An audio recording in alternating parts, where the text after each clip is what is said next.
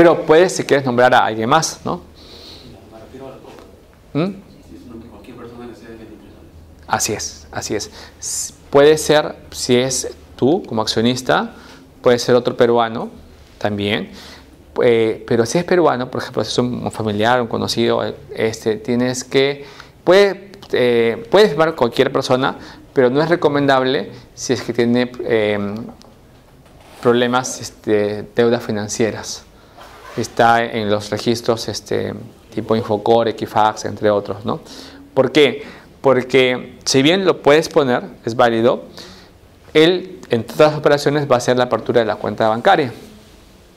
Y los bancos, por temas, de, por decisión privada, aunque me parece un poco injusto, pero, pero ellos así lo han decidido, no permiten que los, que los gerentes generales puedan hacer operaciones, si están, tienen deudas financieras, puedan hacer actividades este, financieras. Entonces, puede ser gerente general, pero no va a poder hacer operaciones en los bancos.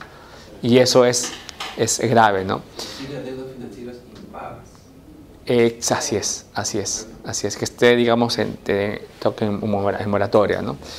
Y, ha pasado una cosa peor todavía este, para mí, y eso sí me parece un poco abusivo, pero, pero en fin, el problema es que las entidades financieras tienen poder de decir eh, que en esa parte, ahora también piden que los accionistas también estén fuera. Entonces, si un accionista está, tiene problemas legales, eh, no se puede aperturar la cuenta corriente. Entonces, otra vez, sí se puede poner como accionista, pero no va a poder aparecer en operaciones financieras.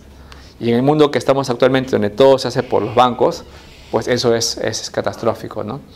Pero, pero o sea, sí, sí, lo pueden hacer cuando todos los accionistas están o sea, libres de deudas. Así es, pero así es. Luego de, de, todo este trámite, eh, uno de ellos... Eh, ah, ahí, no pasa nada. Ahí no pasa sí, no pasa nada.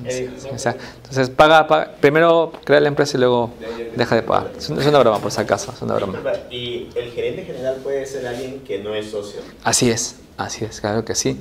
Usualmente cuando la empresa crece, eh, los fundadores, nosotros somos los emprendedores, vamos a la, la próxima clase, nosotros tenemos habilidades básicamente de visión, emprendimiento, de negocio, pero usualmente los emprendedores somos malos gerentes.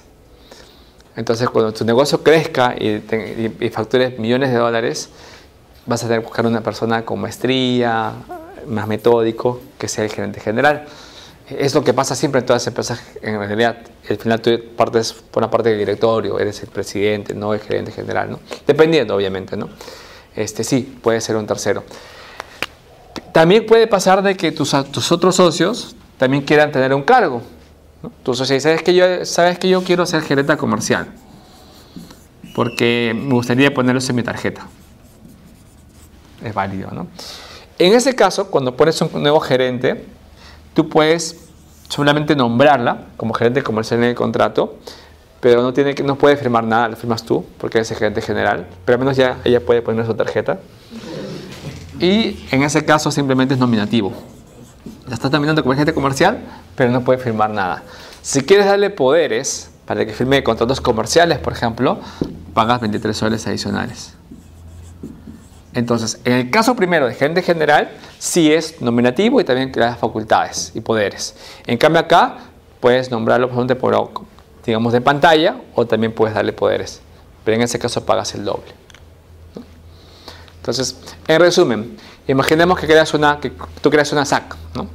Entonces, pagas 43 soles, tu capital es 10 mil soles, pagas 30 soles más y lo que te aconsejo es solamente un solo gerente pagarías 23 soles adicionales. Luego se pueden añadir más.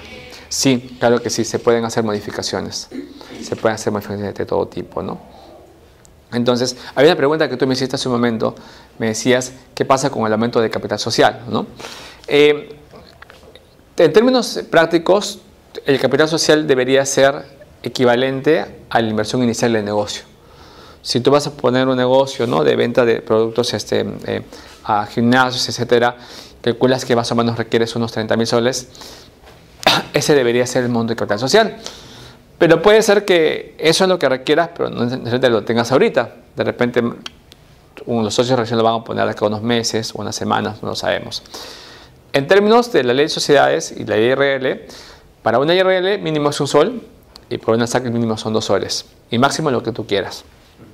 Entonces, la mayoría de los emprendedores, no digo que, que, lo tengas que hacer tú, usualmente ponen capital social, digamos, hasta 10 mil soles.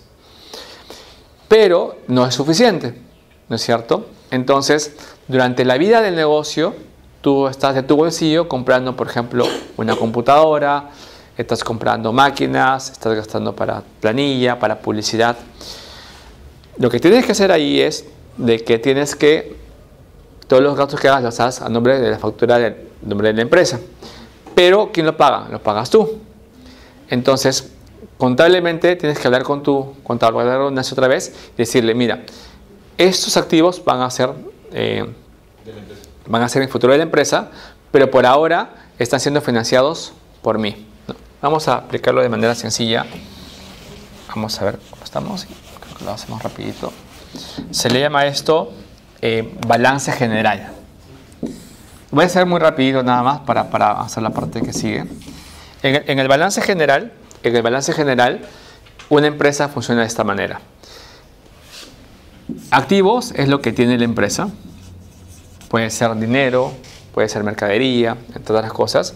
Y en la otra parte está cómo ha sido financiado esto de acá. Esto se ha financiado de dos maneras. Una, por tu capital social, que se le conoce en este caso como patrimonio, que fue 10 mil soles,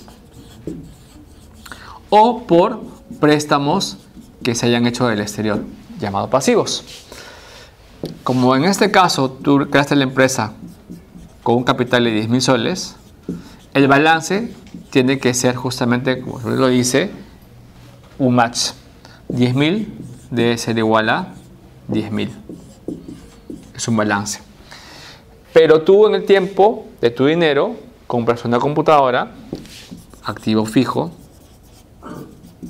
5.000 soles, compras con tu dinero mercadería, insumos, por ejemplo, ¿no es cierto? Por otros 6.000 soles y esto va a aumentar pues a, a 21 mil, ¿correcto? donar también, conseguir por ahí. Eh, sí, pero digamos que en este caso vamos a ver que él está pagando por eso, ¿no?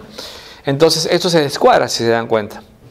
Entonces lo que se va a hacer, eso lo hacemos internamente, eh, hacemos con tu contador un contrato de mutuo. Mutuo es un contrato de préstamo. ¿Entre quién? Entre tú como accionista y tu empresa. Donde tú le estás prestando esta cantidad de dinero, en este caso 11 mil soles, para que la empresa compre activos. Es un préstamo el accionista a la empresa.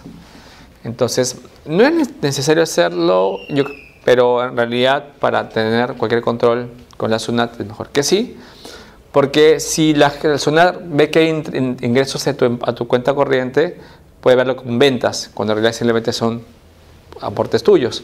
Entonces es mejor hacer este contrato de mutuo, de préstamo sencillo, no tiene que estar tampoco tan, tan oficializado, eh, que se demuestre de que tú estás aportando dinero. ¿Y qué sucede? Si ese dinero se puede recuperar rápidamente, debería ser devuelto al accionista. Pero si son activos que realmente lo vas a dejar permanentemente en la empresa, la cuenta ahora te va a decir, yo recomendaría de que mejor lo capitalices. Entonces, a fin de año, no puede ser cada mes, puede salir muy caro. A fin de año, hablas con tu abogado, vas a la notaría, haces una junta de accionistas. Eh, hay un libro llamado libro de actas, que en realidad son hojas, en realidad, donde se juntan y, declaras de que tú vas a capitalizar ese monto. Y eso luego se pone en una minuta y esa minuta se eleva a registros públicos como una ampliación de capital. Y se paga este, esta cantidad de dinero y también lo de acá, ¿no? Más los gastos que te cobra el notario por hacer la, la operación. Aumento de capital se le llama eso de ahí. Cuantas veces quieras, pero si lo haces muy seguido, te va a salir muy caro. Entonces, hazlo de repente cada año, cada seis meses. Depende de ti. ¿Y eso se traduce en que ese socio tendría más acciones? Muy buena, muy buena pregunta. Qué, qué, qué genial pregunta. Vamos a verlo en un momento. Este, tenemos que ver ahorita los contratos justamente de IRL y OSAC para ver qué pasa justamente en esa parte, digamos, este, de conflicto, ¿no? Eh, vamos, a, vamos a trabajarlo en un momento. Eh, no sé, de repente quieren hacer un pequeño descanso, de repente unos cinco minutos, Eh, vamos a recapitular un poquito, ¿no es cierto? Número uno, búsqueda de nombre, cuesta 5 soles. La reserva de nombre cuesta 8 soles. Podemos hacer una minuta que se firma o podemos hacer un modelo de acto constitutivo que no tiene firma, que es lo que yo recomendaría. Luego ese documento se lleva donde? A notaría para que el notario haga una escritura pública. Una vez que esté la escritura pública, lo firman los accionistas y el notario. El notario les entrega a ustedes un testimonio, ¿correcto? Pero una copia se lleva a registros públicos para que se escriba. Una vez que se escribe, que demora de 3 a 5 días, SUNAR les entrega a ustedes lo que se llama una ficha de inscripción o partida registral. Es un documento donde aparece un número justamente que indica que la empresa ha sido registrada. Y con eso se finaliza el proceso de crear la empresa. Una vez que ustedes crean la empresa y está todo oficializado, van a hacer trámites en dónde? En SUNAT, ¿no es cierto? En, en DECOP y en otros lados. Y en, los bancos también. Y muchos de ellos les van a pedir a ustedes, ¿qué cosa? Una copia de la empresa, pero una copia em, remitida por quién? Por SUNAT. A esa copia se le conoce como copia literal comúnmente o copia registrada certificada. ¿Cuánto cuesta esa copia? Esa copia tiene un costo de 5 soles por hoja más o menos 25 a 30 soles le costará la copia de su empresa. Apenas ustedes tengan la empresa creada, tienen que ir a SUNAT a sacar una copia literal. ¿Para qué? Para ir a la SUNAT, para ir en el COPI, para ir al Banco de la Nación, para una serie de trámites ustedes requieren justamente esa copia literal, ¿no? O copia o la partida registrada certificada de la empresa. ¿Tiene que sacar una para cada...? Eh, antiguamente muchas entidades te pedían el original y se lo quedaban. Actualmente simplemente piden de que muestres y entregues una fotocopia. Eh, muchas entidades te piden de que ese, documento tenga una, una, antigüedad no mayor a dos meses o tres meses. Por eso que al inicio hay que sacarlo porque vas a hacer varios trámites. Por ejemplo, en la SUNAT vas a sacar tu RUC, de repente en el copy vas a hacer el nombre comercial, de repente vas a mandarlo para Digesa, de repente para licencia municipal de funcionamiento, cuenta de tracción en Banco de la Nación, de repente quieres comprar este, un celular, este, un equipos. Entonces, para muchas cosas va a ser necesario esa copia literal, ¿no? Es bastante utilizada. De repente, esos dos juegos podría ser una buena opción al inicio que creemos la empresa. Bien, eh, había algunas preguntas que me estaban haciendo justamente con respecto a las acciones. Eh, no me acuerdo quién fue el que me preguntó. Todavía creo que todavía está por acá. Todavía no viene. Bueno, pero bueno, vamos un poquito revisando los dos tipos de modalidades más utilizadas, ¿no? que en este caso son las IRL y la, persona, la sociedad anónima cerrada. La IRL eh, está formada por ti. Si estás casado o casada, tiene que aparecer tu cónyuge en el contrato, de todas maneras. Eh, no es obligatorio que, firme, salvo, como les digo, de que hayan activos, activos, este, activos no monetarios, ¿no? Lo segundo es el tema, lo que se conoce como el objeto social de la empresa. Ese objeto no, puede, no tiene por qué ser una actividad, pueden ser varias.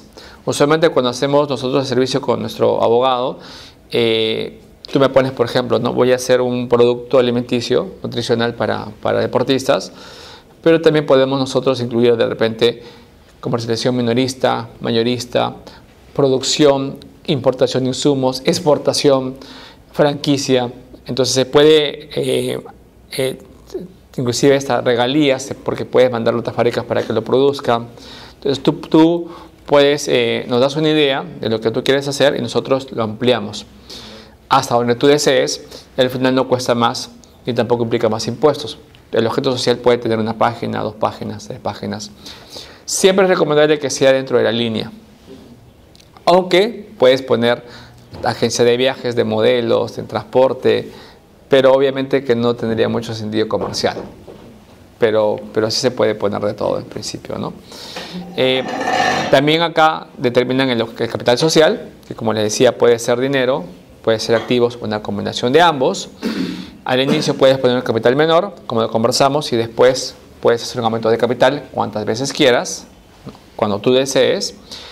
Y tenemos que ver si es que tú vas a ser el dueño, titular y gerente o vas a delegar esas facultades a otra persona. y, si le vas a dar facultades amplias o, limitadas. Esas cosas se tienen que poner justamente en el caso de una EIRL.